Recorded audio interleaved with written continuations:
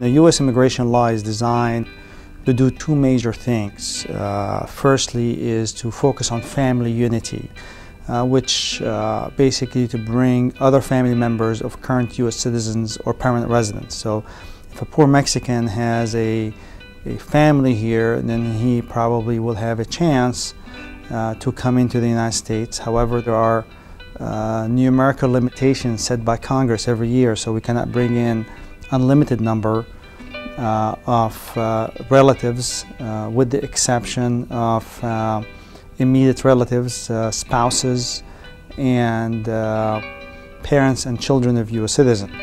and the other category is the um, professional uh, or rich people with money or resources. Uh, our system, immigration system, focuses on bringing the uh, the most educated people, the most talented people, and the most rich people from all over the world. And definitely these categories of uh, immigration uh, bears uh, a significant challenge for a poor Mexican. For a poor Mexican to uh, come to the U.S. legally,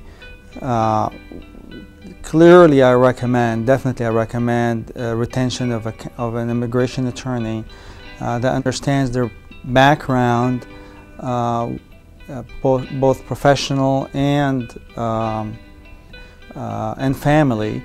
Uh, and when the, the analysis begin, be, be, begins as whether or not uh, any of their ancestors have been U.S. citizens, because believe it or not, uh, there has been uh, a lot of Mexicans who can acquire citizenship uh, through their parents or grandparents sometimes, so that should be analyzed first. The second thing that needs to be done is trying to understand if there's employment opportunity for them here in the U.S. and whether the employer is willing, uh, ready and able to go under the process of applying for perhaps a labor certification if they have a skilled labor, for example, if they are painters or tile layers or uh, or any other skilled uh, positions, there is a process that takes several years, but there could be an opportunity there. And obviously, we have to analyze the uh, family members, if there is uh, immediate relatives, parents, sisters, brothers, uh, who are here in the United States and explore that route. Once we narrow down the avenue, then we will begin the process uh, in